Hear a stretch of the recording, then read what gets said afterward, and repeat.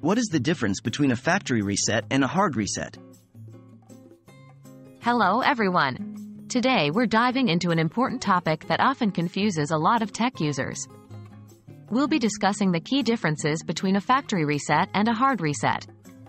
This knowledge is vital in understanding how to troubleshoot your device and protect your data. What is a factory reset? A factory reset, also known as a master reset, involves returning your device to its original system state by erasing all of the information stored on the device in an attempt to restore the device's software to its original manufacturer settings.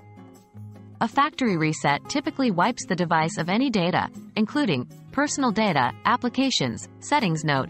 A factory reset is usually performed through the device's software options, often found in the settings menu. What is a hard reset?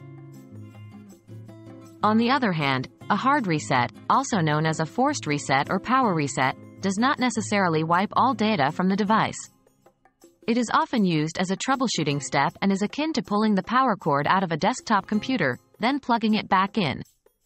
A hard reset is usually performed by using hardware keys. Does not remove personal data.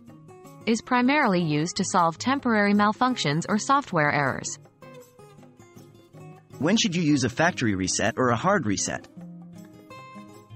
Factory reset A factory reset should be your go-to option if you're planning on selling or disposing of your device and want to ensure all personal data is removed. Your device has serious, persistent software issues that simple troubleshooting steps have failed to fix. Hard reset A hard reset, on the other hand, should be used when your device freezes or is unresponsive. If you encounter minor software problems that a simple reboot doesn't solve. And there we have it you should now have a clear understanding of the differences between a factory reset and a hard reset.